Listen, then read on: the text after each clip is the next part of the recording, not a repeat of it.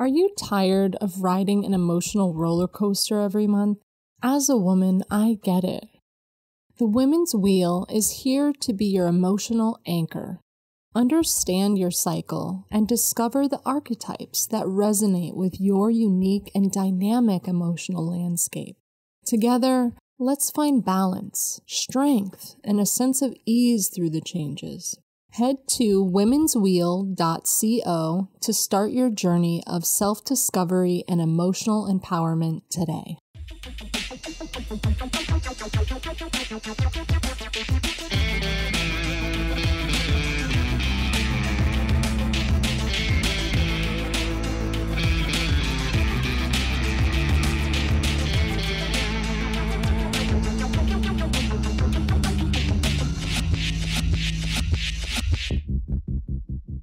All right, so I've got uh, Zach back on the podcast, and uh, Zach and I were just going to catch up a bit in preparation of Origins uh, that I'm super excited to be attending. Um, so we figured might as well turn it into a conversation. So I got like a couple of uh, list of things to chat about. Uh, I'm sure Zach has a few on his own too. So Yeah. uh, first off, how's it been, Zach? It's been wild. Been been been crazy busy, but uh, I'm I'm super excited to be back on. So thanks for having me. So uh, I know last time uh, we were chatting a bit about the transition to the new uh, kind of white labeling um, convention Yeah. circuit business thing. So how has that been going? Yeah, it's definitely going. Um, we've got you know like I think the answer there is we've got several really cool clients that have come on board. Um, Modiphius being one of them. That's been a client of ours for a couple of years now. Um, and Cubicle Seven being a new one as a couple of examples. Um, so you know we're excited. Our goal this year is to hit around 20 trade shows Hmm. uh, and you know spread the message of a lot of cool RPGs while we're at it. So That's very cool. So these trade shows, is it is it something that WOGD uh, World of Game Design is always at in addition to this new um so I forgot the name of it. The tabletop the fanatics, yeah, tabletop Ta- fanatics. Thank you. So is it usually Tabletop Fanatics and World of Game Design, or is it just So- the twenty goal is just for World of for Tabletop Fanatics? Yeah, so think of think of World of Game Design as like another publisher in our line now um, of Mhm. clients, and so the I think there won't probably all twenty shows World of Game Design will have a presence at, in the sense that they're our number one, uh, they're our oldest client and and and the one that we're closest with, right? Um, but but uh, yeah, I would say like Tabletop Fanatics will be at the twenty. World of Game Design will be at. I think right now the slate is all but one of them and um, one of or uh, and and one of them is one that uh, Tabletop Fanatics is basically being hired on to consult for another uh, group. So it, we're already doing a show that weekend, so we can't we can't go to both in in force, but we're gonna send consultant to that one. Okay. Well, so the only uh, convention, or gaming convention I've ever been to is Origins. Yeah. So how would you say that one compares to the ones that you usually do? So Origins is kind of like a nice middle of the road. Um, there's a lot of shows, especially local ones that, and I'm sure you you have a lot of these types of things down in, in your area too. But um, there's a lot of shows that are local that are like a thousand people or less, right? Mm. Um, and so I have a handful of those local here in Kansas City.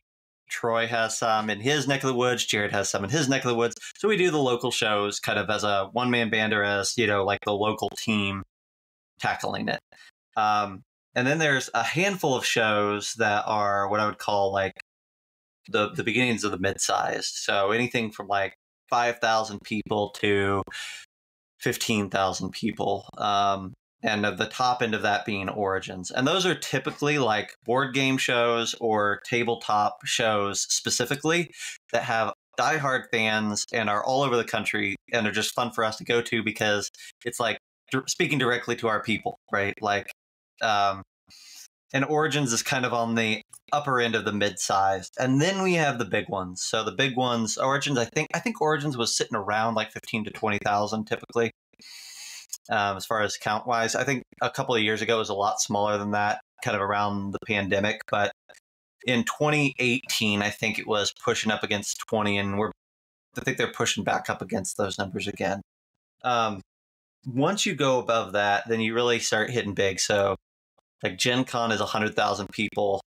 Um, Wow. You know, uh, uh, uh, New York City Comic Con is, you know, pushing double that. Um, and so that's kind of the range of the big ones. But once you go big, you're kind of a, um, it's really fun and it's chaotic and it's all those things. But you also realize that not everybody that comes to a big show is your people, right? Mhm. um, in the same way. And so you're you're not fighting for a hundred. You're not targeting a hundred percent of the market basically that's there. You're targeting you know the the five or ten or fifteen or twenty percent that you know are coming because they're interested in the types of games that you're you're bringing to the table. Or in the case of a comic con, you know. Most people are coming to a Comic Con to, you know, get signatures, attend cool panels, meet the celebrity, you know, things like that. And, you know, the exhibit hall would take hours and hours and hours and hours to walk through. So even if it was possible, you you not everybody's going to walk by your booth um, yeah, over a course of a weekend. It's just not it's not feasible um, for their schedules or just for the the packed, dense sea of people that is a big show like that. So if you're thinking of it as like uh as if you're just like counting sales, would an Origins result in more sales than a New York Comic Con or no? Um, I think that it's going to vary from person to person, group to group, of course. But I would say that, like, for margin wise, you're probably going to have the best margins at targeting local conventions to you that are very much in your wheelhouse, right? So Mhm. for us, as an example, like we don't do craft fairs because that's not really in our wheelhouse. But if there's a local con within an hour and a half drive from me that's a gaming con, it's probably going to be stupid cheap to get a booth there. You're not going to have any hotel expenses, and you know people like supporting local, so you'll see great margins there. You just won't see high numbers of sales. Mhm. Um, once you go to like an Origins or the mid-sized ones are sometimes the most dangerous because you have all of the a lot of the expenses of a big show. Like you're you're you're traveling to another city, so you have a hotel expense. The booth expense is probably close to the same, probably not quite, but close to the same. You have all of your expenses for a booth, right? Banners and backdrops and yada, electricity and you know yada yada yada. Um, but your sale, you're talking to you know there's instead of hundred thousand people, you're talking to 20. And so I always say like the mid-sized ones are the dangerous ones where you need to bring your A game the most because they're the hardest ones to make a great profit margin on. Hmm. Um, Interesting. and then the big ones are a gamble in their own right, right? Because you still got to bring your A game, but if you bring your A game and you present well, you know, there's a lot more people and you stand to do pretty well. But it, it, it is a juggling act. But I say you can't go wrong doing a local show. Um, it's it's hard to hard to say no, but definitely the big ones are the ones that make make it feasible to turn it into a company. So like where I am, I know there's a Dice Tower Con, which I don't think they've had for a few years, and that's in Orlando, I want to say. But uh, let me look that one up again. Dice Tower Con, and see if they're doing that thing again. Dice Tower East. Oh, it's happening in July. Mm-hmm. Hmm, maybe I should sign up for this one. Dice Tower you- is a Yeah. yeah. Dice Tower is a board game company. Uh, like they do a lot of like videos on YouTube. They they make a lot of like how Mm-hmm. to plays and reviews and things like that. Um, I, I've never been to Dice Tower East, but um, yeah, I mean like that to me would be interesting. To like, I would look at it if I were in your shoes and it wasn't too far away. Um, Yeah. and because you got a lot of games at this point, and a lot of bo- you Yeah. got several board games. You got the you know the card based RPGs, and then you got Yeah. regular tabletop stuff. So I think for a board game con, there's a there's a fair chance that that I've only got one board game at this point, but I'm hoping to have my next one prototypable in time for Origins. Uh-huh. So maybe in the unpub room or something. But I, I, I mean, so the events for Origins haven't come out yet, so it's like I really have no idea how to plan my time there. yeah, yeah. So, have, um, I've never gone to a show and just attended and, and not been a heavy participant. So, um, uh, yeah, you you and me both. Like I would not know what to do with myself with a whole weekend of conventions to figure out. Well, so like, it, I mean, th- this is all easy for you because you've been doing this so much. So maybe easy is not the right word, but it's all experiences for you. Like you, Sure. you, you generally know what to expect, what to prepare for, what kind of lists you need to check off, and so like the idea of introducing another convention into my lineup is scary. Uh huh. Um, but that being said, it's not like I'm going to Origins this year as a vendor. Right. Um, so the first time I did it, it was an attendee. I met you. I did tons of events. Uh, I participated in tons of events, and I had a wonderful time. The second time, I didn't participate in any events. I just hosted that one that Yeah. I met you at, and I was a vendor. And as a vendor, you don't really have any free time. Yeah. Yeah. So this time, I'm thinking it's gonna be more like the first one. I want to. I want to do more role playing games and less board games. And part of that is because if I'm like, oh my god, I need to buy this, it's going to be a lot cheaper and it's going to take up a lot less room than a board game would. yeah. yeah. Like the last one, I bought. I bought this uh, chip theory game uh, from called Burn Cycles, like 140 bucks. I Mhm. bought it because everybody was like flipping their shit over this game. I still haven't made it past the tutorial. Mm. It's a try it? beautiful game. I haven't. I don't. I don't have it now. I um. It. I. I realized really quickly that as much as I adored the art and the presentation of it, like it's not a not a game that my family would play, and that's kind of my gaming group. So, um. But but I am. I'm. I'm super interested in it, and, and it's one of the coolest looking games that came out last year. Like it just Yeah. looks awesome.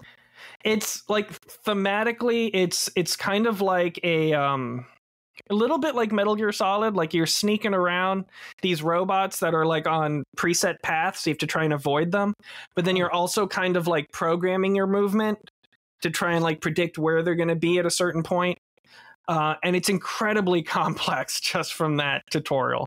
And i just Hmm. i haven't uh forced myself to do it. Part of the problem is i uh, i really like the games from uh forgotten Re- uh sorry not forgotten realms. Um f- uh what what is this called whatever the polish com- awaken realms there you go Yeah, awaken yeah, yeah. realms and a lot of their games are like super long campaigns so my wife and i have been playing iss vanguard for like 40 sessions now and we're not done with Yeah. the campaign so it becomes really hard to introduce a new game to the mix because like we're so close to finishing this one but That's crazy. uh, yeah. So Awaken Realms is a very fascinating company.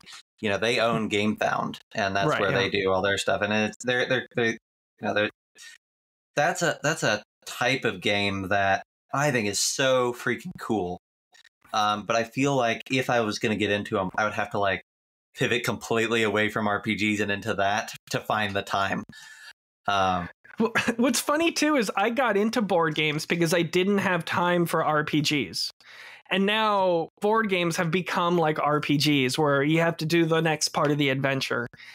And I'm I'm missing the freedom of being done after 2 hours. Yeah, yeah. That's the like my my my family gaming circle. Like my family loves like hour long board games. You know, and we can have some complexity, but we want to be we want to be able to play three board games in an evening. Mm. Um, and you know that's fun. It's a great it's a great time. Um, um, and I like it because it's it's you get to learn you get to play a lot of different things if you want to, right? Like you can learn a lot if you're going to play three games in an evening. Um, and that's kind of the way I like to adjust my RPGs now too. Is like no long campaigns. Let's just do like ten sessions or less in something, and then play something else. Um, so I can I, we can experience everything that's out there. At least try. So, like some of the games that we've been playing lately, when I say we, it's my wife and I mostly just playing like two player games. We recently played um, one that I got from Kickstarter. It arrived like two months ago called Steam Up. It's about collecting dim sum. It's really fun. Ooh, that's cool. It's very That's- simple. You've got like little plastic steamer baskets stacked up. The game has a lazy Susan in the middle of it, and part of it is like rotating dim sum away from your partner so that they can't get their like the set that they're trying to collect, and then rotating it towards you. It's very simple, but it's really fun. It's got little squishy uh like bao buns and stuff, and it's quite delightful. That's awesome. uh yeah, that sounds like a blast. Um, it reminds me of uh, there's a game. It's called like uh, something's brew, like the lizard like brew or something like that. Anyhow, it's uh, maybe the wizard's brew, and and know, there's this big cauldron, and everybody's like like adding things to it, and you're trying to brew potions, and uh, you're trying to upset other people's po. Anyhow, it's like like yeah, I love that sort of like fun Probably. themes just hook me hardcore. So yeah, I, I worry I'm going to show up with too many games when I come back from Origins. So anyway, so I'm just super excited about Origins. So tell me about some of the events you'll be hosting down there. Yeah, so um, let's see. We're going to be doing a panel. I'm going to do a panel on my own called um, um, "How to Teach People RPGs." Okay. Um, and it really comes out of my YouTube channel where I teach people RPGs, right? And we do how to mm-hmm. play videos. And so we're gonna, I'm gonna sit down and say, hey, like, if you're like me and you're a game master who wants to introduce your home group to game after game after game and you don't want to turn them off or you've had the experience of saying like well i just bought more Morkborg we should play it and everybody turns their nose or you just bought iss vanguard and you sat it down at your game night table and uh, you got halfway through the tutorial and they're like this is not going to work right like um, mm-hmm. so like that's the sort of an idea is like walking through how do you how do you introduce people to a game and and teach people a game in a way that is most likely to uh, connect? And then um, we're gonna do we're gonna do a geeks camp panel which is our podcast where we're gonna just do a game master q&a which should be fun. It should just be like a raucous silly good time. Mm-hmm. um, we're gonna do a zweihander panel since zweihander is our big rpg system that we picked up. Um, so we're gonna do one called let's talk about zweihander um, and we'll talk about new news, upcoming products, um, our third party support program, things like that. Uh, we're going to talk about Hannibal, which I know you've helped a little bit on with some mm-hmm. art, um, but we're going to talk about where Hannibal's at. And I think that panel is called uh, First on the Scene uh, with the Hannibal RPG. Um, and then we're doing one called The Business of Gaming, which is uh, uh, kind of an evol. I think it's kind of a pseudo evolution from the Kickstarter panel that I've done for the last two years. But the mm. idea behind it is just, you know, what are some techniques and pathways that you could take to take your hobby or your small indie publication and turn it into a business that's sustainable and that you know pays bills, pays rent. Hmm. That sounds like uh, a lot. Is are these events that you're like that you'd only do at origin size events and above? Or do, or like the smaller local ones usually not have a lot of panels? The smaller local ones usually don't have a lot of panels that's accurate. Um, it really depends on like i just had a conversation this week with a local con and i said hey what do you what do you guys want? Right? Like like you know your show better than i do. What do you want us to do? And they're like oh well if you could do some demos and you could do a couple this that and the other. And then they're like and we have this private room set aside where you could record things. And if you want to do panels in there, that's great. And to me, I looked at that and I said, you know, we're probably not going to see a mountain of people attending those panels at the local thing. But if they have a private room and it's nicely laid out, nicely presented, and if we can get a handful of people and if I can record it, then sure, let's do a couple of panels. Why not? Like just add some variety to the mix and give them something else that they can put on their show schedule. Um, and you know, if I'm recording it and releasing it in the wild online afterwards, then you know, just as good as what we're doing here. It's just uh, in a different place. So, uh, uh, one thing that I've been wondering is like, since I'm not going to Origins as a vendor as chain assembly. Is there anything that like i should be doing networking wise that i'm not that i don't know about? I guess it's a dumb mm. question but like i don't think i don't so, know. because i learn stuff about that all the time. Um, so one of the things that you can do is um, a lot of times there will be manufacturers there um, so like Longpack or something like that, that it's worth at least chatting with them if you, especially if you know what your price points are for other things.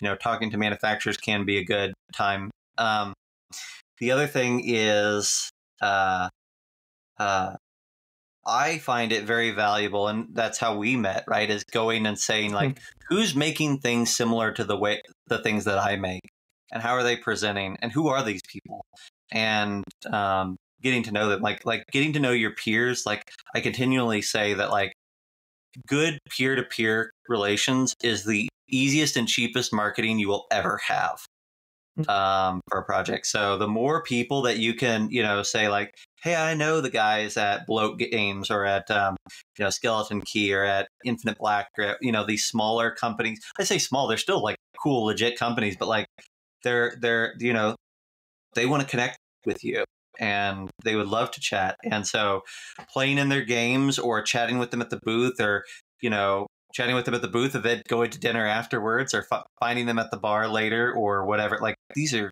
fantastic ways of just building that out, and uh, that's that's where a lot of our connections and revenue and marketing has come from in the past few years. Is just you know being nice and being friendly at shows and connecting with people that are nice and friendly and want to connect back, right? Um, that probably um, one thing, uh, another piece is um, Origins is one of the shows that does this. If you go on Wednesday, um, there's Trade Day, um, which is uh, basically a time where it's just publishers and retailers and vendors kind of intermingling. And so anything, if you're a publisher, a small publisher, whatever, you know, that's an opportunity that you might have to touch point with some other, with some retailers or, or folks like that. Uh, I definitely think that once you go up to like Gen Con and things like that, that re- trade day is definitely a, a, a, very viable thing. And I think it can be at Origins too. All it takes is, all it takes to make a good show great is connecting with two retailers, right? That want to take your stuff. Um, so I would say like that's a good thing. And I, I love, honestly, I love your idea. Like my favorite thing to do at conventions, if I have time at all, is attending panels and then following that up with, can I play 30 minute up to two hour demos of different games that I've been meaning to try or that catch my interest. Um, and yeah, walking home with not just a, a trunk load of games, but a trunk load of experiences and like learning new mechanics and new interesting things. Like like to me that's that's super helpful because then I go back and I'm like, all right, like it's interesting how this company solved this problem of initiative or combat or whatever. Um, and that typically helps me with my game design. So, so one thing I hadn't even thought of that you just made me think about is like, should I be bringing copies of Ready Play Games or Pilgrimage of the Penitent and try and like reach out to um, booths that represent game stores and see if like they'd want a sample? You can, um, and and I'll say like we definitely facilitate that. Like as, as somebody who consolidates, you know, a lot of indie publishings and different publish uh, different publishers, and tells them like I definitely have people come up to the booth and they say, "Hey, I have this product," um, and I'll say like it's you know it's not unheard of for me to buy it right then. Mm-hmm. Um, especially if it it's a one to one match for something that I'm already selling, right? Like if if I'm selling Pil- uh, Mörk Borg stuff and you come up with pilgrimage, um, as long as you know your terms are right and you know we and and and your terms are right and you have it right there and I like it, like I've been I've picked up you know 10 20 copies from a person who just has them carried around in their backpack right um that's definitely happened. I would say that, you know, carrying at least a few, I, I will definitely admit to sometimes I'll be out on the show floor or w- walking to and from a seminar panel or at a seminar panel.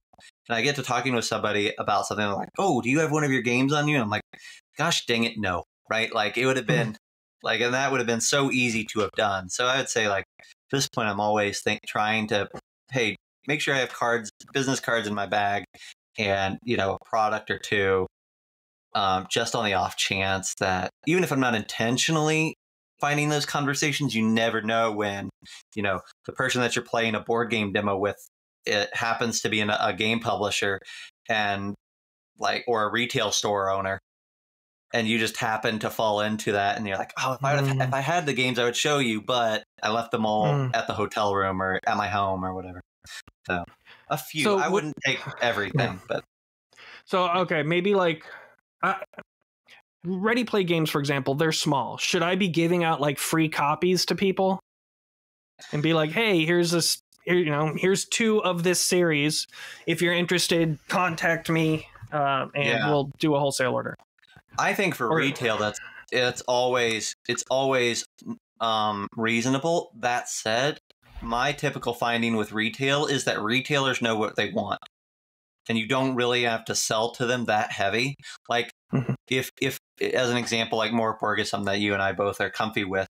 Um, if I go if I'm talking to a retailer about different products and they're like, I don't know anything about Morkborg, even if I give it to them, they're not going to buy, Mhm. right? Like they're just they're just like they aren't in the know about that in- side of the uh, uh, uh, uh, community. But if I say, "Hey, we got all this Morkborg stuff," and I've definitely had this happen on numerous occasions, I'll, you know a retailer will be like, "I'll take six of everything." Morkborg sells, right? And and it's like, Right. well, I didn't need to give away anything at that point, right? Like I just Mm. I just needed to to put it out there. So I would say typically when I give away product, especially to retailers, it's typically about like, hey, they're buying a bunch of my D and D stuff or my mothership stuff, and I'll say like, hey, I know that you don't know if you have a more Morkborg community in your local area, and you don't really know about this. Since you're buying a bunch, let me give you a couple things. And you can test it out, and if you like it, great. And if not, no big deal. And for me, that's like, okay, well, it's already a win because you know I'm selling four hundred dollars worth of stuff. I can afford to hand it off.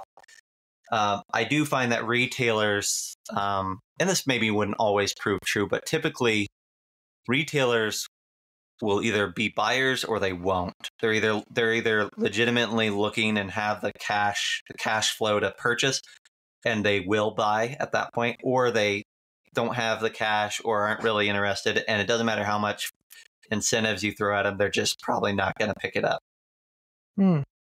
So maybe Um, it would make sense then, rather than bringing like a bunch of copies of stuff to give away for free, just bring stuff to display and carry them on me. So, Yeah. like for me, that would just be the um, couple of ready play games and a Pilgrimage of Penitent book, and then just have like, if you're really interested, here's I already made a whole bunch of flyers that describe each of the ready play games and say how to contact me for wholesale orders. So I'll Yep. bring that. Yep. And then I'll just have a copy of Pilgrimage of the Penitent. Yeah, and I, I, yeah, I think that's how I would do it. And you know, just and then my typical thing is like, you know, if if I really connect with somebody, a retailer just really and I and I hit it off, and we're at a bar or we're you know at a board game table or whatever, I'm perfectly fine with giving them a copy of of a, of a zine or a thing at that point because they're not at the booth, they can't buy right there, and I want them to. And I also I'm like, you're a cool person, and I want you to you know remember Mhm. this, so giving you this is a little bit of an investment into this relationship. That's a scenario where I would give it away if it's like a happenstance meeting, Mhm. not at their booth, not at my booth, not in any official capacity, but I want them to have something more than a business card. Then, yeah, Yeah. a, a product is mm. great.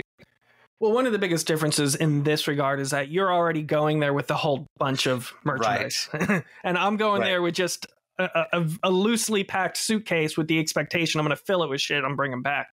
So right. I really need to kind of figure out what to pack and what's not worth packing. And you know the other cool thing that you can keep in mind is if you'll if you'll ping us, and this is a little bit of business chatter, but this is all business chatter. If Oh, you'll yeah. ping me before before you you know tell us you know hey you're coming and what shows you're coming to this year. Um, I'll make sure to throw in some of our stock of your stuff, and Oh shit! Yeah. right, so then you can just be like, it's a- to I didn't even think of that. Fanatics booth, and you can buy their buy my stuff there, right? Uh, or at Well, least well, check it out. speaking of that, speaking of that, do, is there any benefit, or would you want me to do like a signing of any of the stuff that I have there?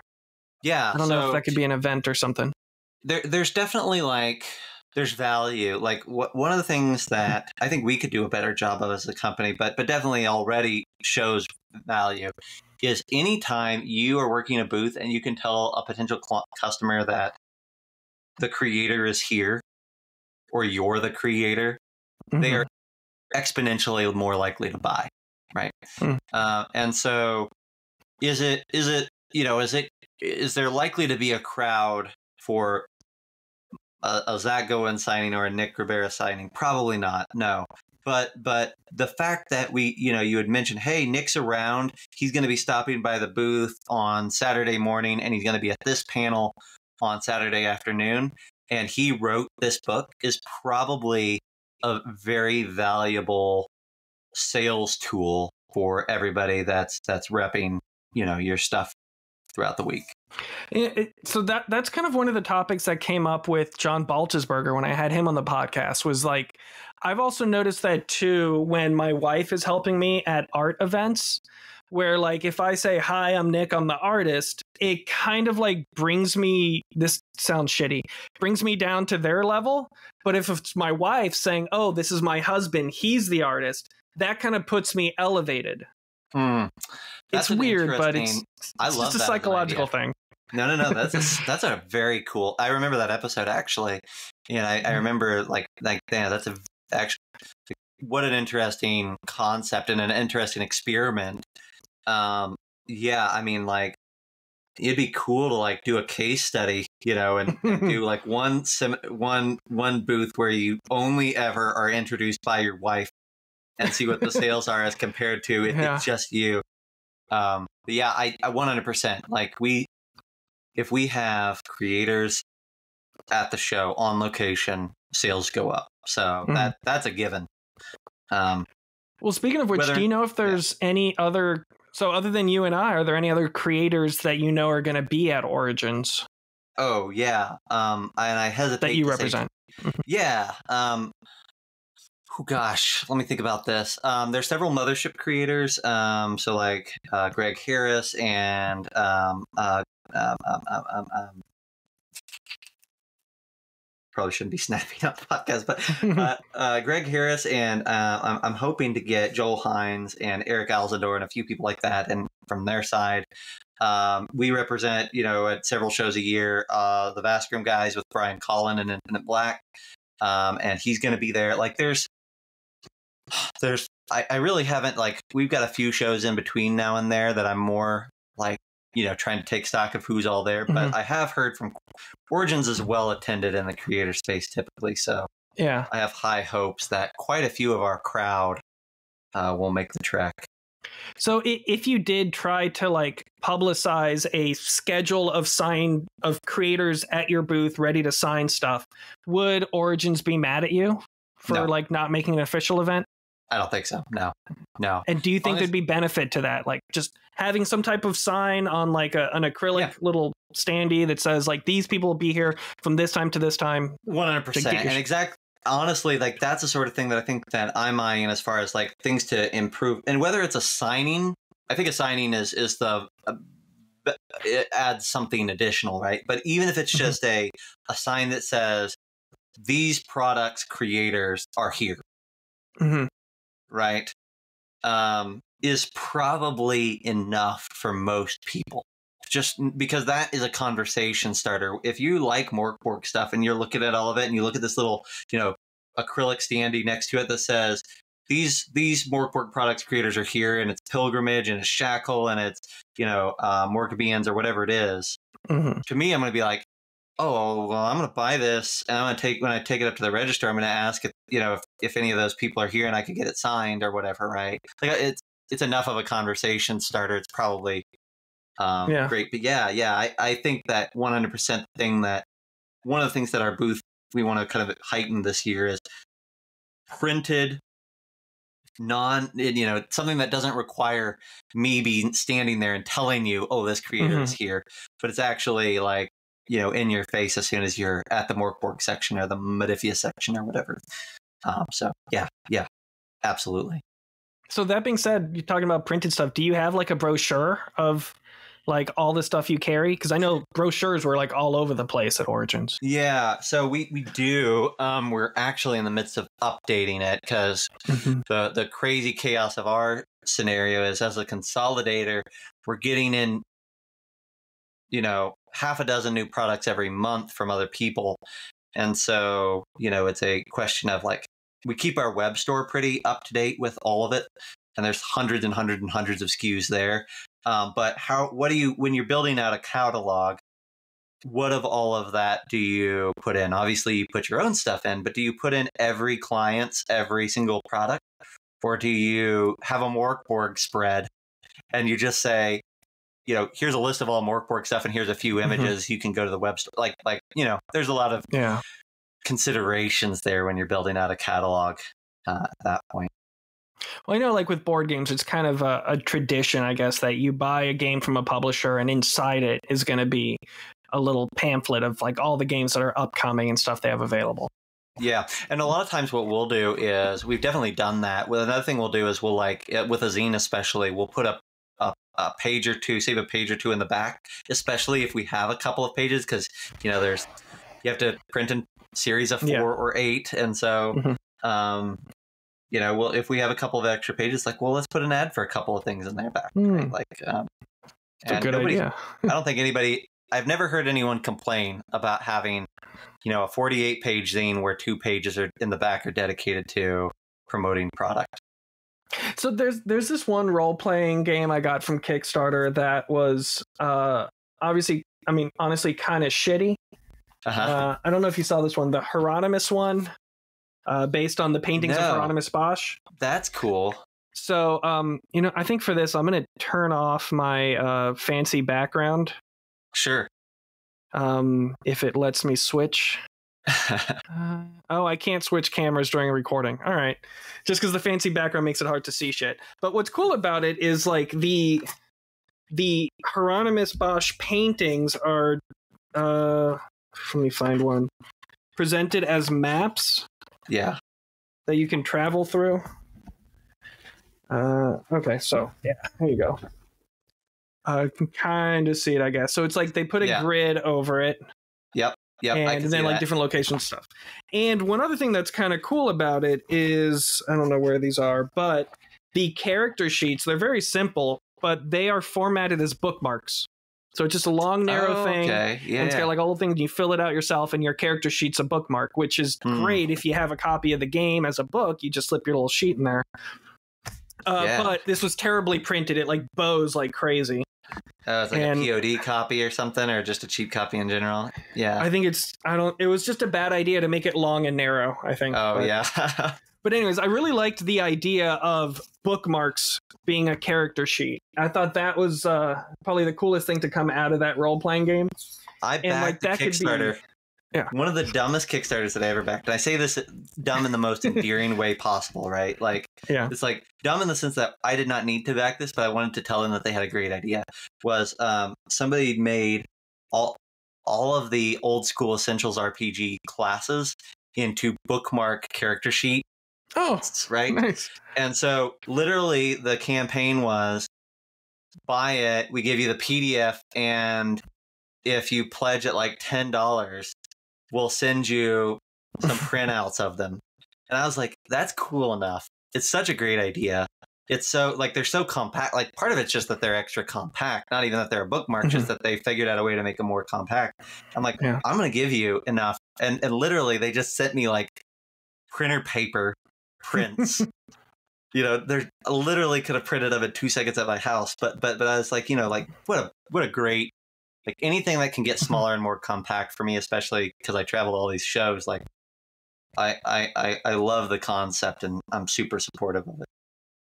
So one thing I do, uh, I am gonna, I decided I'm gonna do at Origins is like for this podcast, um, I'm gonna be using my camera, my my uh, mirrorless um, micro four thirds camera. I got a nice, really Mhm. flat 18 millimeter lens on it, and uh, I've got wireless uh, lapel mics that attach Yeah. to the camera. So I'm going to be going to different booths, ask them to, I'll, I'll just for my own notes, record their business card, ask them to say what booth they're in or what space they're in, describe their business, and say what they think is going to sell out the most quickly.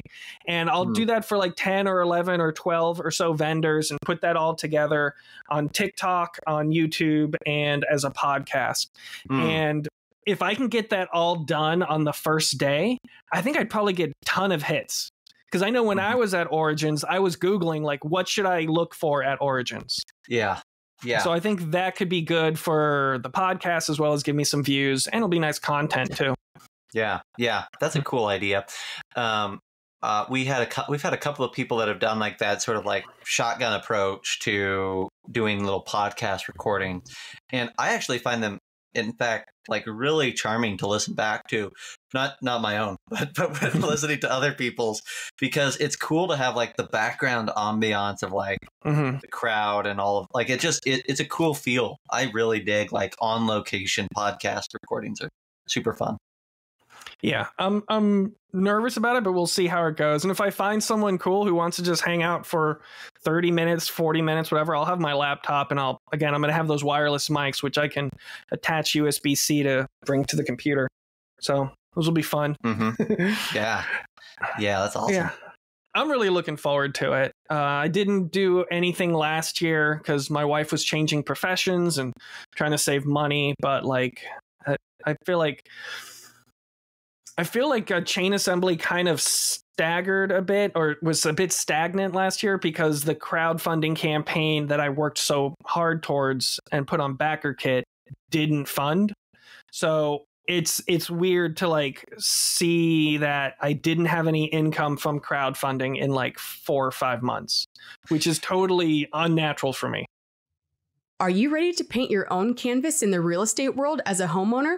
It's Leslie Haas from Realty One Group Sunshine, and I'm here to talk home equity, your masterpiece in the housing market. Imagine owning a piece of property that's not just a place to call yours, but also an investment opportunity. It's time to take that brush and start creating equity in your dream home. With interest rates on the verge of dropping, get ahead of the curve and secure your artistic haven before the next rush. Whether you're a first time homebuyer or upgrading your studio, let's sketch out your home ownership dreams together. To learn more, visit Tampa Bay Homes for Sale Real Estate. You would, would are you interested? I, I, I don't want to I don't want to open cans of worms that, that you've already buried in the backyard. But um, do you, would you are you interested talking about backer kit in general? Yeah, yeah. So um, so this kind of all winds back to um two people I've had on the podcast. First is uh um, Ellie, Melissa Mascaro. She is uh, a person who I met through someone who went to my booth at a metaphysical event and they loved my tarot stuff and they're like, oh, you got to meet my friend Ellie. She's a somatic sexual healer and she's a massage therapist and life coach. So I met with her and she had this really cool idea for something that's like a tarot deck, but it's not just one person it's like activities for a group of people and it's based on this philosophy she's been developing of how women's cycles mirror the seasons and they transition from archetype to archetype throughout this seasonal change. And hmm. uh, i really loved her idea and i'm like hey i know how to like make things like this into physical products. Let's get this done. So we worked on it together very proud of what we put together and it was around this time I was also doing the podcast, and I met with Seven, who uh, had the highest funded tarot project in Kickstarter history. Mm-hmm. Uh, so I learned a lot from them. But Sarah, Seven at this point was transitioning over to using BackerKit for crowdfunding. Mm-hmm.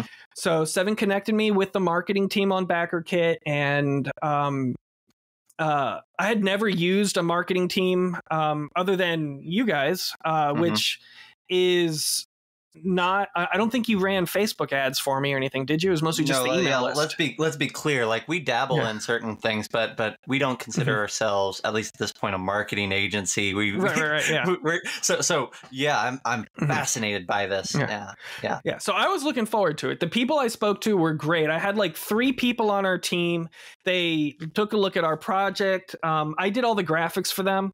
Uh, they created A and B testing. They wrote all this copy, all these great headlines for everything. They gave us this like web interface that tracked the success of each individual image, each individual yeah. headline, and each individual um, uh, copy, uh, bit of copy for the ads that they were running. Right. And we decided to do this on BackerKit because if they do marketing for Kickstarter projects, they take 15% of each pledge that came from one of their ads. Right. Which seemed totally reasonable to me because it's like all the people we're bringing in, they're not taking any of that money. It's just the ones from ads that they've made. Right. Um, and then if it's on BackerKit, though, then it's 10% of each um, that they take of each pledge. Mm. And so I was thinking, okay, between that discount and the fact that there's not a lot of projects on BackerKit's new crowdfunding platform, we would be standing out. Mm-hmm. We're like, mm-hmm. oh, let's do that. Totally no brainer. We had our funding goal set at $7,000 and we only made it to about five. Um, and so well, one thing that was uh, that was too that was helpful too is it was very easy to communicate with these people. They're like, okay, we're going to spend this much money in order to lead to generate leads, um, to get more people clicking on the the pre-launch page. Uh, mm-hmm. So we probably put like five hundred dollars into that or so. Didn't get a lot of leads. We still owe that money because that's how much money was paid for Kickstarter. I mean, paid on Facebook ads.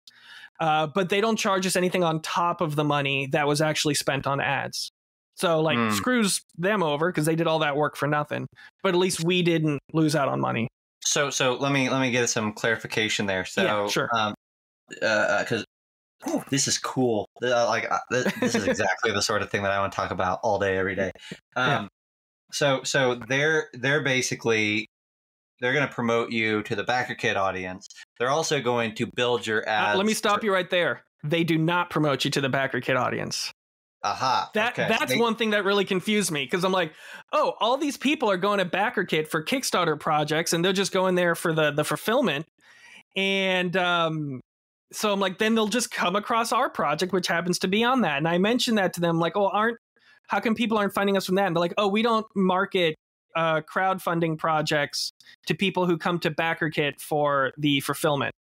Do they? Do they? So so they're they're they're spending the the marketing that they're doing is strictly going off site.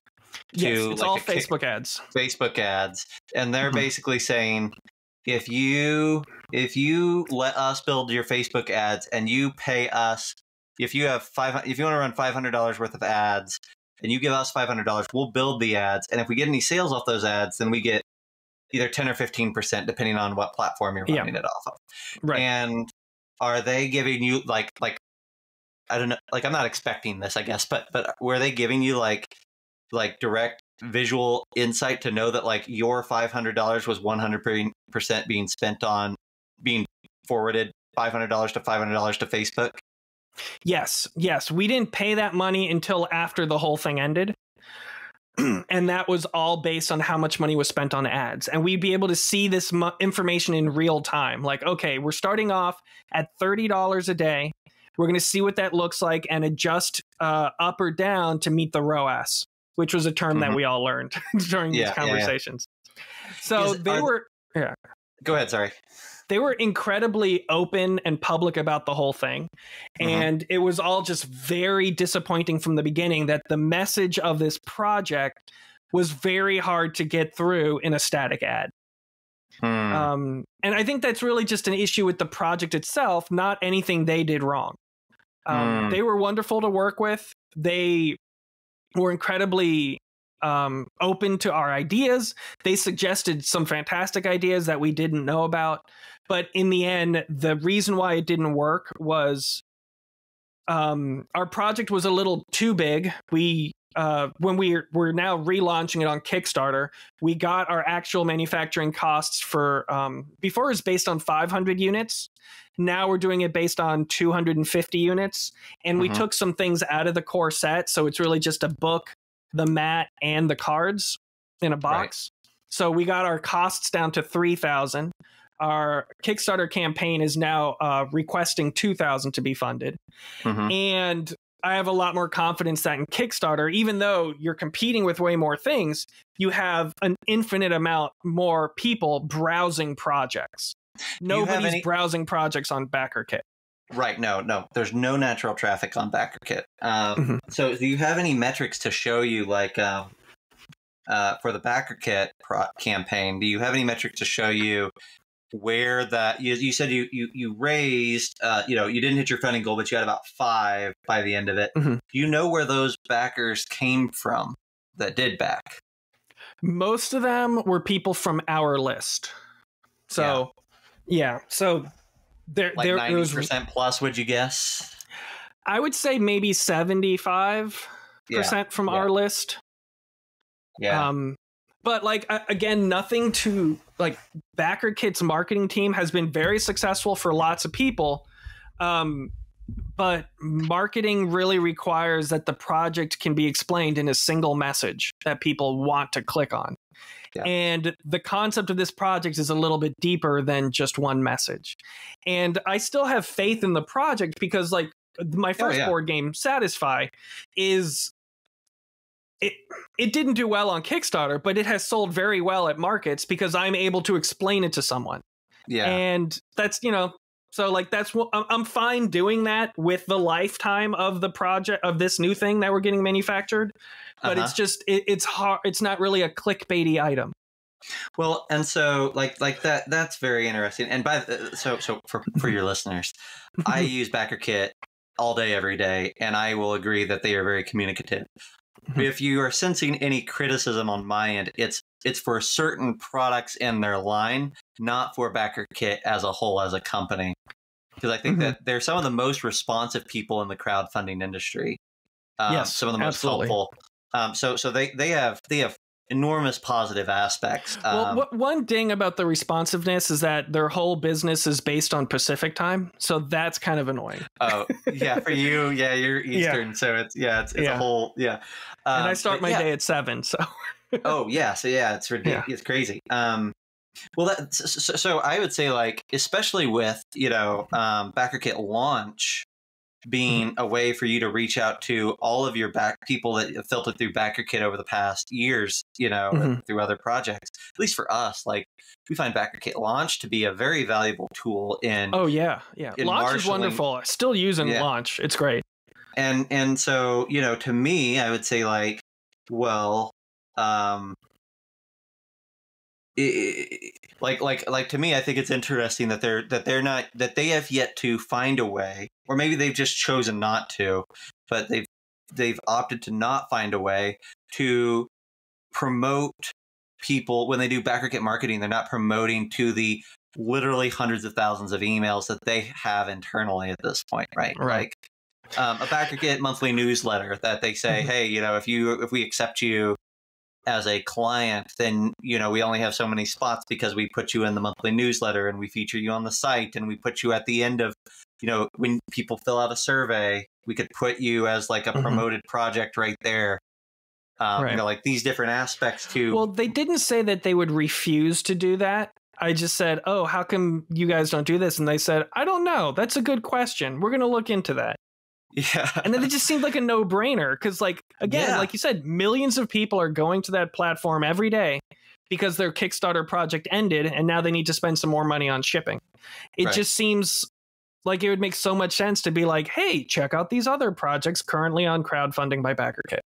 Yep, exactly. And and and that's that's the crazy like I think Kickstarter, like if you look at metrics, especially if you're a small indie company, if you look at metrics uh, when you do a Kickstarter page, you'll see that like you're gonna see some amount of movement, some amount of sales from, you know, projects or Kickstarter referrals or Kickstarter mm-hmm. recommends, which is literally Right, right. somebody backed a different project. And once they got through the backing process, Kickstarter says, Great job, you backed this project. Here's three more that you might like or when they logged in on the uh, when you come to Kickstarter, you know, and you first go to the homepage, they say, "Here's three projects that we recommend for you." Right? Um, or you know, like like Kickstarter is very good about saying, "We keep an eye on what type of projects you spend money on." And we Mhm. want to, we are going to refer, and that is all based off algorithms, right? So they're seeing, Yeah. oh, Nick's project as actually like it, it hit five grand in the first two days or whatever. It's got a little bit of leg here, and and the algorithm saying, and there's there's 20 people that are that are hopping on that have hopped on today that have bought from Nick before or have bought other tarot decks. So the algorithm is kicking in. It's nobody on Kickstarter's end. It's just the algorithm Mhm. saying we need to put Nick's projects that are selling to Nick's people in front of more people because it's probably going to sell. Right. Um, and I look at BackerKit and I say BackerKit is getting, you know, is this great filter where everybody's coming through. Um, it, they could be doing some great things with all of that data that they've acquired, and maybe they are. It's just like um, I, I, I've yet to hear that. Like, yeah, I've yet to hear from a creator that they really feel like backer kits marshaling their own resources. They're just, uh, uh, you know, utilizing their own expertise to do Facebook ads or yada yada yada. So, or Well, they're helping you build Yeah. campaigns to market to the people that are already in your email list, right?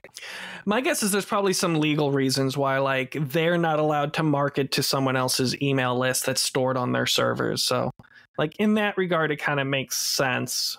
And then, Listen, put a, put a checkbox at the Yeah. end of every survey that says, "I understand that BackerKit has the right to take my email." Done. Right? Like Yeah. nobody's not going to check that box. Right? So Yeah. Yeah. And so, but BackerKit also, as a crowdfunding platform, had some really cool tools. Um, okay, yeah. So, like, they have this thing that you can institute called a launch party, which Mhm. is basically live streaming. So, you can live stream before your project launches, and everyone's like all on the same page while you hit that launch button. Great Yeah. if you want to strum up some things. Uh, nobody came to our launch party. Uh, uh, and then there's also you can have um, forums in there. You can have uh, diaries, journals, a whole bunch of different like it's almost like a Patreon that happens alongside your project, which was pretty Mhm. cool. And you can Mhm. choose to make some things public or not public. But after I did that and I started like building my next thing on Kickstarter, I was excited to see that Kickstarter finally added the sections to a a, a project story. So that was Yeah. huge. There's so many nice features. So Kickstarter got a new director um, last year, right? Okay. and it was like it was like there we have been asking for certain things for Mhm. years not not not unreasonable things right a sandwich bar for your kickstarter page right Yeah. uh, a reward tier page or tab that lets people just go straight to rewards without scrolling down Mhm. um, you know images next to add-ons like these are things that have been okay it's not hard I don't know how to do it on your program, but I'm sure that you do, and I would love it, right? Yeah. And we've been asking for years. And literally, this guy came in, and within like two months, everything was firing. I'm like, either that dude is like the most ma- motivational person of all time, and just like Mhm. inspired that crew to execute, or everything was clogged, and he cleared the the bottleneck. And either way, I just like who, how, why, or how that happened. We got so many great features this year that, that were a long time coming. Well, let, us move into uh, Zine Quest. Tell me about the projects you're representing that are be coming out. They're coming out for Zine Quest, and that's all of February, is it? It's all February. Yep, they they clarified this year that ZineQuest is for projects that launch in February. Um, It used to be that as long as you were running at some point and you touched in February at some point, it was fine. Mhm. But it, you have to launch in February now. Um, you you get the ZineQuest tag, um, and they will promote it to a minimal extent throughout this month. Um, it's kind of like uh, we've probably talked about this before, but it's kind of like a um, uh, festival online for zine enthusiasts. So what you'll see is that the number of backers increases during February. Hmm. Um, people back more projects in February, um, especially in the first half of February where they still have money to spend. But but it's a great thing because it's a kind of a fun event. Back typically creators will you know cross promote with other creators that they really like. You know, there's different Facebook groups and discords where we're kind of collaborating on different things. So it's kind of like this big fun festival of a of an event, and um, it makes it one of my favorite months of the year. Um, so on our end, um, let me see here. We've got one, two, three, four, five, six projects that we are heavily in, or involved into to one extent or another um, for Zine Quest this year. Um, my my wife and uh, her business partner are doing a solo play journaling RPG called Terra Arcus, uh, which is this like crazy um, playing card driven um, mechanics where you are entering the world of Celtic Fae and you're you know having dealings with leprechauns and you're you know you're you know depending on how those uh, things go you're progressing backwards or forward through the different phases of the moon and like there's all sorts of cool stuff. So like journaling rpgs that's cool. Literally all i did was be really excited that my wife made a cool rpg that it like helped with the kickstarter side of it um but but that's been really cool um uh, John Baldesberger, our, our friend's been on your show before. Uh, he's doing a Mhm. project uh, that we're helping with uh, in, in small ways, um, really just helping promote it and helping with some of the fulfillment, but called Overgrowth, which is um, which is about wizards and going after or, or wizards slash like I'd say like druidic wizards going up against like corporate frustration and corporate overgrowth. Uh, so it's this weird map folding map of an RPG like folds out and you have all these crazy this crazy map of, of details and all sorts of things that are going on and, and you're using your wizards and all the rules for it are on the back of the map similar to a project he did last year. John does gonzo crazy weird stuff but um, it's really cool. Um, and it's a cool form factor to do a folding map like sort of thing um, and then we've got a couple of other clients that are doing um, more standard zines. So we've got Jeff Jones doing um, a new Gary's Appendix, which is uh, uh, a D&D OSR inspired uh, zine of different articles written by a host of people. Um, one of them is me, and then I help him with his Kickstarter page as well. Jeff's a great guy, does really great projects, and he's a fun collaborator. So I, I write for all his a lot of his zines, and and it's really fun to to participate. Um, then we got the Realms of Elgrun crew are doing an expansion to their box set RPG that they put out last year with us. Uh, so they've got uh, a new adventure zine as part of it, but they also have a new thing called a raid zine, um, which is kind of really fascinating. Realms of Elgrun is trying to like bridge the gap between RPGs and video game audiences. And so they're bringing in a lot of mechanics and ideas that are very, very popular in the in the video game side of things, but haven't fully made the leap into RPGs, tabletop.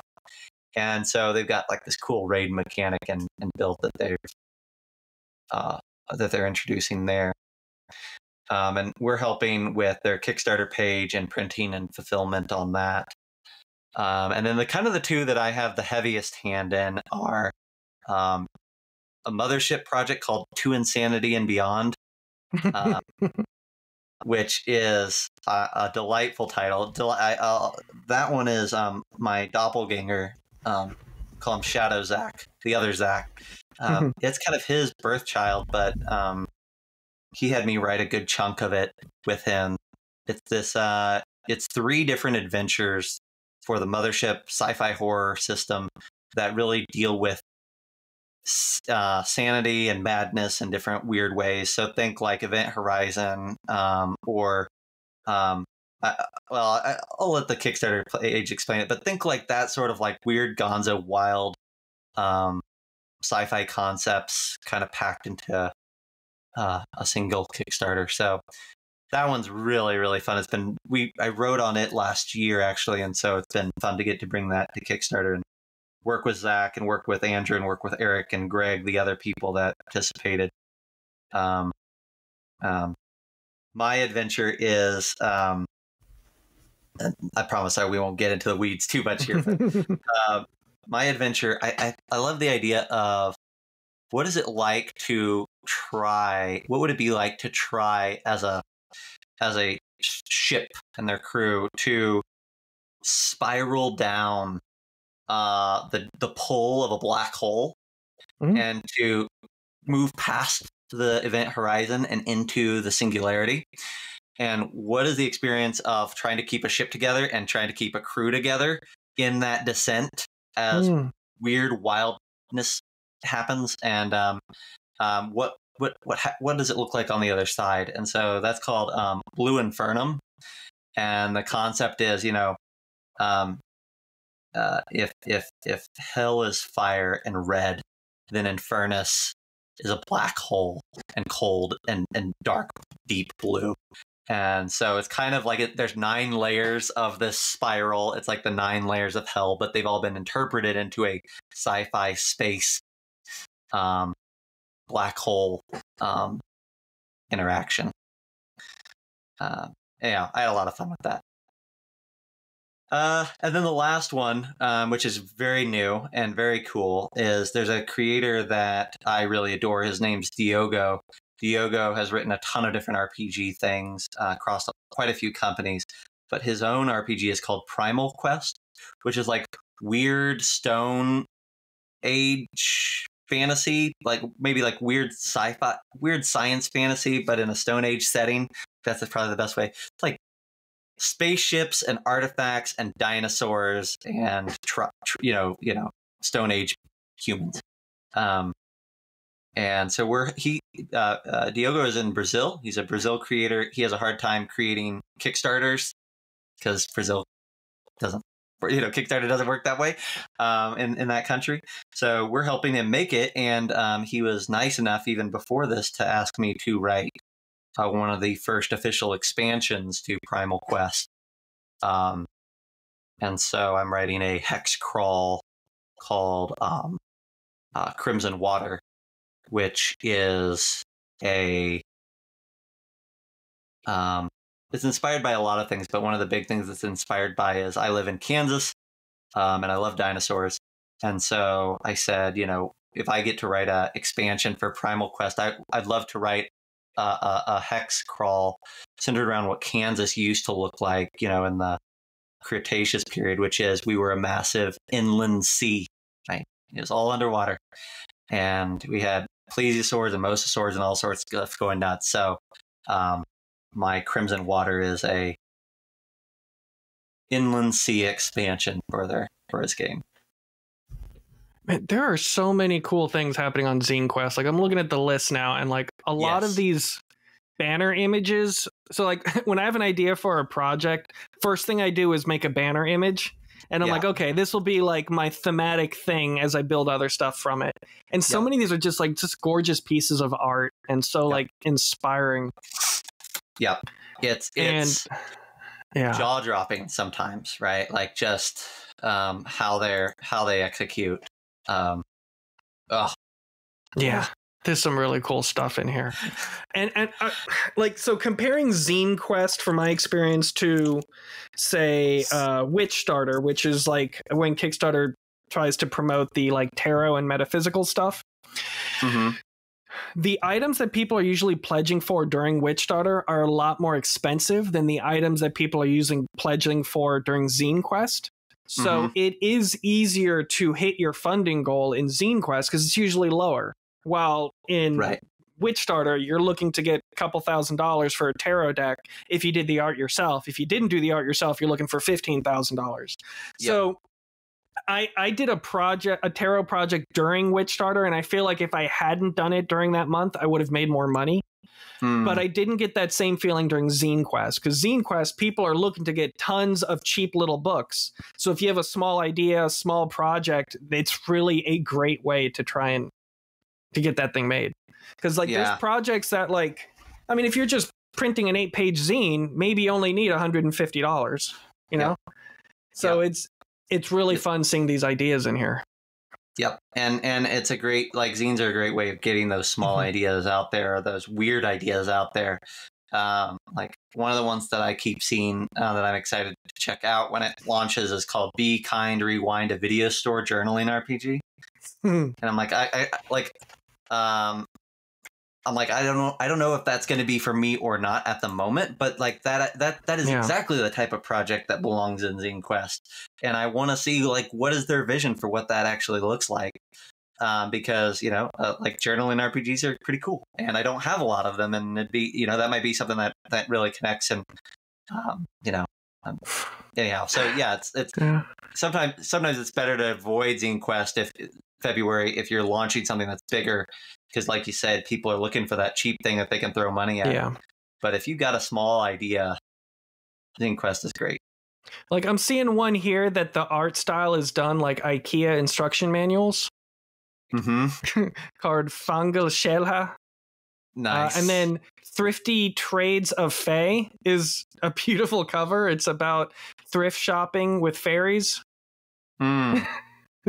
that's awesome. Oh, there's the That's Be Kind awesome. Rewind. I'm gonna hit the button on that one.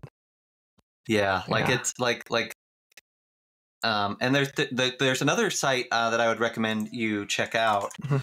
Um that that is a that's big for me. Um it, it it's moved around a little bit. I'm just going to see if I can tell you the link live right now, but um um it's called Zemo is the site and the website itself is called uh zine month dot spread dot name because it's a placeholder site until they get their other site back up but but Mhm. but zemo is the uh, the more gen- general verbiage uh, but zinemonth.spread.name is where you can go to one website that's not kickstarter it's not gamefound it's not indiegogo that's not anything but it they compile all of the zines from February and from the Hmm. wider um uh com- you know crowdfunding community and it's sortable. It's sortable by system. It's sort if you just want original systems or indie systems or if you're a big fan of Morkborg or Mothership or D&D like you can sort by all these sorts of things.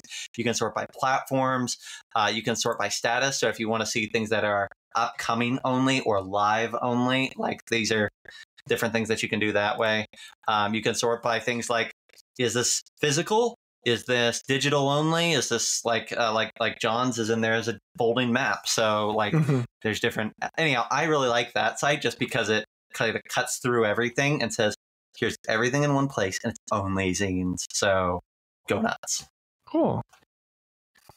Oh, um, I just remembered something I didn't tell you too. So with my new Kickstarter project that I'm, uh, well, I've got, I moved Women's Wheel over to Kickstarter, so I've got that launching February 5th, actually next Hmm. Monday, and then uh, my uh, horror terror deck thing is starting February 19th. So I reached out to Backer Kit Marketing to see if they could help me with the uh, the ter- the Giallo Tarot deck. And they said that they've shifted and now they'll only help with marketing on a project that is expected to make over a hundred thousand dollars. Mm-hmm. Mm-hmm. And already has at least 10,000 people on the email list yes. So that's that was a surprise. And so i said well what if i moved the project to BackerKit and they said well then we'll have lower requirements. So i might still try BackerKit for possibly like a small zine or something as like a test to see how it goes over there.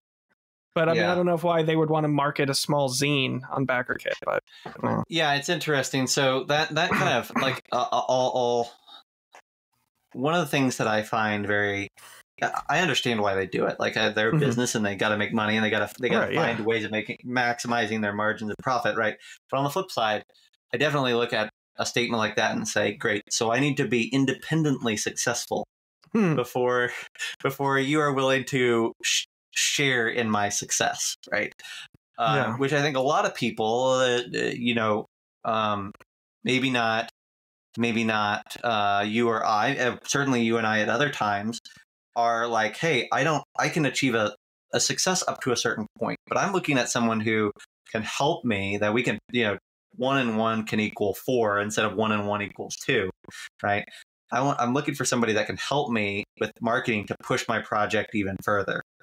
And when I hear a, it, they're not the first company that I've talked to that's like, hey, you have to basically be on target to make a, to either have a massive email list or, or be on target to make up, you know, hundred thousand dollars, or you have to have a project that you've already done that has made hundred thousand dollars or two hundred thousand dollars.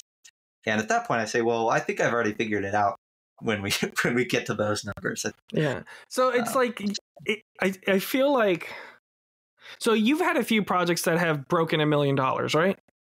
Yes, that I've consulted on. Yes, yes. okay, yeah. And did those use marketing or was that all organic? It, they use marketing. Um, Yeah. I will say though, like, um, I'll, I'll, I'll not say the name of the project, but I'll say that I'll talk about the experience. Like we use GameFound for one of the ones that I consulted on.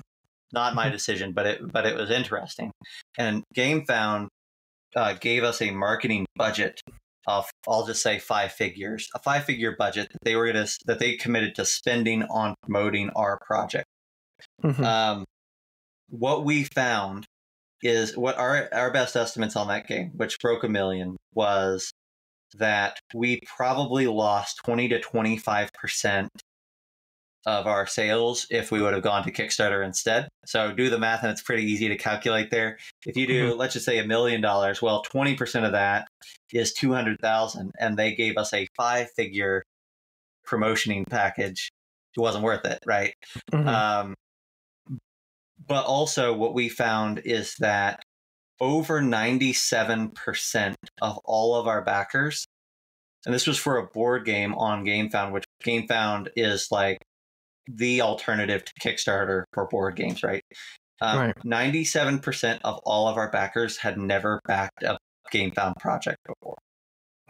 So we were we were backer kit or, or sorry gamefound was not providing an audience for us we were providing an audience for gamefound right. and i believe that that's truly what is happening across every site other than kickstarter right now Mhm. we are being asked, creators are being asked, publishers are being asked to bring our community to this platform. And my my view on that very strongly is that, that is on, you should only be doing that if that platform is committing tangible committing tangibly committing to bringing their audience to you as well and they have Mm. numbers to support that Uh, Interesting. because you and I are going to lose money going to any platform other than Kickstarter. Um, there's no way around that at this point. We don't. uh, So if we're if the only reason that we would move is if they say, "Hey, you have a mailing list of ten thousand people." That's great, but we'll we'll supplement that with a email list of hundred thousand BackerKit or GameFound people. Well, that's a pretty good gamble to say I get a Yeah. hundred thousand extra people, but I'm but you know, and I'm uh, but I'm definitely risking having a smaller project on a smaller platform. It's a pretty good risk. But if you're saying I have to move my hundred my my ten thousand people to you, but you're not moving anybody to me, then I think the math pretty much checks out that I'm going to make less every single time. Hmm. Um, and I would I love why- to have. Go I ahead, don't know sorry. why I didn't. Th- I don't know why I didn't think of it that way when it came to the approach to using BackerKit. But Well, and you know, the reality is like I would love to see some alternatives to Kickstarter that are real, right? Like I think the best the best case scenario for all of us. The reason that Kickstarter didn't uh, one of the reasons that Kickstarter didn't release features for years was because they didn't need to. They had no real competition, right? right, Um, competition in this case actually help is helpful. Um, so I'd love that, but I think the only way that that's going to work out is if the majority, or at least a large swath of the big creators, all move out of Kickstarter and into these other fields and bring their audiences with them. If they, if you know, if you have RPG creators, RPG publishers, the big ones, going to crowdfunding by BackerKit regularly to where there is every single week multiple big projects funding on BackerKit, then the audience is going to start to shift over there and it makes sense for the Right. little guys to start shifting too. But right now, our shifts isn't going to, you know, that's not going to move the marketplace. It's not going to move the community. And all it does is, you know, says we're going to give BackerKit or GameFound uh, 5% of $10,000 as opposed to giving Kickstarter 5% of $25,000 or whatever, right? So I think when I do my my um my next board game that I'm working on with my wife, Propagation Station, I might do that on on backer on crowd sorry on GameFound. Uh, Uh-huh. Just for comparison's sake, because it is a board game, it would be safe there. Uh-huh. But Safer, yeah. yeah, but I feel like I would- GameFound is really for people who are gamers, while Kickstarter is for people who are gamers as well as people who are not gamers. And because it's That's about correct. propagating houseplants, there's kind of like two markets, and half of that market would be gone if I went to GameFound. Yeah, and, and I think my statement to everybody there is going to be I think it I think it'd be cool. Like I want I actively think it'd be cool if you had propagation on GameFound. I think you you would be fascinated. I think you personally would be fascinated to see all the tools and UI that GameFound has to offer, right? Um, if I was going to go over there, I would say, GameFound, what are you going to give me that's going to make? I estimate that on Kickstarter, I can do, you know, thirty thousand dollars for this game. I estimate that on GameFound, I'm probably going to do fifteen. What are you going to do to help me make up that difference, right? Um, Mm. Because Yeah. they can't. They got they got resources. They can do it. Yeah, Um, they might ask me how to prove, ask me to prove how I'd make thirty, because I haven't Oh, done. listen. Yeah, but whatever. whatever you know, whatever you do the math. I mean, like we could, Yeah. you know, like that's not it's not impossible, right? Like we could yeah, whatever that math looks like, right? But to say like we think that we can get this many followers on this page and we can do this amount, um, and the reality is that um, GameFound knows that they make less money. The third party creators that aren't Awakened Realms makes less money on GameFound than they do on Kickstarter. You don't have to prove that to them. It's a true fact. Um, so it's about it's not about you having to prove it to them. It's about them having to prove to you that they're more valuable than the than the than the mass than the mass appeal of Kickstarter. So At least that's my opinion. I mean, lots of good stuff for me to think about here, but I have I know we've already been going for like an hour and 17. I do have one last thing I wanted to ask you, and that is uh, so I recently did a live episode of this podcast, um, Mhm. live streaming here, and I had it connected to my YouTube and my Facebook, and huge failure. My computer could Mhm. not handle the live streaming, and I have a very nice, very expensive computer, but you live stream all the time. How do do. you do it? So I use uh, two programs. Um, uh, one is going to be very familiar to anybody who messes with video, which is OBS. I pretty much only use OBS to filter my camera. Um, that's literally all I do is I, I, I, I fine tune my camera settings through OBS and I start the virtual camera, right? And Mhm. then I use Streamlabs to stream. Um, Streamlabs is free. It is it's like a simpler version of OBS. It has a lot of templates. Um, you log into Streamlabs, you connect it to your Twitch account or your YouTube account or your Facebook account or wherever you're streaming to. Um, and um, then you can pull in a source. So I multiple sources, just like in OBS. So I pull in my OBS camera feed or whatever, and I pull in my mic and I pull in my headset and I pull in whatever. Um, and then the cool thing about Streamlabs that I really like is um, it takes a little bit of time, but you can connect through one login your Twitch, your YouTube, and your Facebook, and whatever else you might have streaming wise site set up. And then with one go live button, it broadcasts to all of those at the same time. Wow. And so, you know, Twitch is the Twitch is the destination that you want for your live audience. Um, YouTube doesn't really do live very well uh, unless you are you already have a big following. Um, so Twitch is where you want to put your live broadcast. YouTube, you might as well. But the cool thing about you know Twitch, it deletes everything after a few weeks. Um, with YouTube, it'll archive your live footage for forever. Um, so that's handy that, that where you Mhm. always have the backup and, and it's available for people to watch later. And then Facebook, it's just great content to put on to have streaming directly to your Facebook page. Um, so it's just one more thing that you're not having to think about that's adding content to keeping your page fresh. So it's really as simple as that. I don't have a crazy computer either. I bought a, you know, I bought a computer uh, six years ago, and I haven't upgraded anything since. So I don't know if you're how how techy you are. I'm not, but um, I bought a nice computer six years ago, and it's it still handles all of that streaming just fine. So for me, I think the biggest issue was just this platform that I'm using, Riverside FM.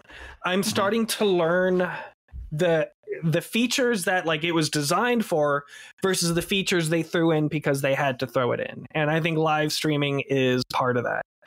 Like one thing that's great about this platform is when this episode's done, the AI will automatically adjust all of our voice levels. It'll automatically generate TikTok clips with subtitles put on them with graphics. It'll automatically generate an entire YouTube video for me and it'll automatically generate all the transcription. So I have to spend maybe no more than 30 minutes to an hour editing it all and uploading everything and scheduling it, Yeah, which is that's lovely. nice. That's nice. Yeah, I'll no, no denying that that's a really handy feature. Um, that the the you know and, and different programs can do different things. Of course, I will say that like the nice thing about running through Streamlabs slash OBS is that I can adjust levels in Mhm. those programs on its own, right? Like, Yeah. like uh, I could like that's handy. Now, I will say that when we stream and we do a podcast recording, a lot of times what I'll also do is we use um, Zencastr. It's very Mhm. similar to Riverside FM. Um, but Zencastr allows us to, we'll, we'll pull it up. It's browser based. You send invites just like Riverside, right? Um, and it records to multiple um, tracks. So there would be a Nick Yeah. track and a Zach track, probably the same as Riverside, right? Mhm. Um, and what that does, and it has a lot of the same features that you do there. So I'll, but we don't do any video at all through Zencastr for the exact same reason that you just Oh. mentioned through Riverside. We only use it Okay. for audio recording. Um, and it's just a backup and a way of getting cleaner audio for the podcast. But for the live stream, we're like, I'm not worried about the live stream being clean. It's live, right? So um, so just put it through a program that, like you said, is designed to do it. Um, as So Streamlabs to is software uh, that runs off the computer, right? Mhm. Yep. free Okay, so- software. you can get yeah. it at no cost, um, and Yeah. it'll it you know it. Then you just well, as soon as you download Streamlabs, it's going to say, "Hey, what platforms do you want to stream to?" It's going to ask you to log into those platforms that connects them, and then you just build out the scenes like um, Mm, you know with and, interesting. and you can do you can download like a really uh there's a lot of really cool overlays i've never made a a, a my own overlay completely from scratch i've always gone on downloaded a free one and then modified it Mhm. um so you can do you can get 90% of the work done by somebody else and then you come in there and say yeah but i want i want you know uh the uh uh art for profit's sake logo over here and i want it in these colors and i want to do this and you know tweak it and you're done. Um, i think i built a new overlay for a new channel that we're going to do uh, the other night and it took me like picking an overlay modifying it and getting the multiple scenes set up took me about two hours on, on Mhm. streamline so it's not a not a big time investment. Um, I'll look into that, but I'm thinking if I'm using Riverside just for audio, then I won't be able to generate those TikTok clips and the the YouTube thing. But I guess YouTube's Which- not as important if I'm live streaming to that. which and and and it, it it might be interesting to see like i'm a dumb person nick especially when it comes to this right it might be that somebody that's smart would say well zach you can you can get all of that on streamlabs too you just have to Yeah. like, look use your eyes and it's right there so so zach uses things zach likes using things at the base level like can I get in here and do a thing and it works? Yes, great. And then I may never look at any other feature on the entire thing ever again, right? I feel like you are way better at like like you've sent me some links to a few different types of like 3D modelers and things like that. I'm like, dude, you know like that's a great tool and you you figured it out like at a level that I probably never would have. So Yeah. Well, um, in that regard, you've given me a lot of stuff to research. Uh, people who want to fuck with your shit, um, there's WOGD, W-O-G-D dot com, World of Game Design, uh, W-O-G-D dot com. Again, you're Yep. going to be at Origins as well as many other events. Uh, You're also on the Wandering Monster podcast. That's Baldusberger, John Shit, Baldusberger. sorry, I'll point, sorry. Oh, that's fine. That's fine. No, no, you Yeah. should you should give them a plug. Uh, Geeks so we do the Camp, sorry. we do the Yeah. Geeks Camp podcast. Yep, um, and you can go on Wogd uh, twi- uh, YouTube.com forward slash Wogd Live, all our World of Game Design, or you can go on Twitch.tv forward slash Wogd Live uh, if you want to catch some of the live streams um, as we as we do those. Um, and if you want to check out all the cool product, we talked about all the cool product. You can go to store.wogd.com and and see all of that there. So does the the wogd.com uh, or store.wogd.com does that list any of your Zine Quest projects that you're working on? No. Uh, it probably could slash should, but again, Yeah, Zach's a dumb should. person and it, it doesn't. I, well, I will say that there are promotions on there for some other projects that we have upcoming, but I don't currently have Okay, our cool. Zine Quest stuff uh, uh, on the on the slideshows of promotions that are going through there. That would be a good call. Maybe I'm going to do that after we get on. Well, I definitely want to hang out with you and the uh, Please. guys at Origins. Um, so uh, not just the panel. Uh, I don't know. Maybe we'll grab a beer or something. So Beer and tacos. that's that's the Origins plan all day, every day. So nice. Yeah. Yeah. Yeah. I got. Uh, I don't know anyone who's going to be there other than you, and maybe I'll run into one or two people, but uh, it'll be fun. I'm excited. Thanks a lot for having me on again, Nick. Thanks again so much. I mean, I know we went for an hour and a half, and we could go for five. So we'll save it. Yeah. All right. Thanks, Zach. Art for Profit's Sake is recorded through Riverside FM, distributed through Spotify for podcasters, and edited on Adobe Audition. The music is provided by Old Romans. If you learned anything useful or found this podcast helpful, please rate and review us five stars.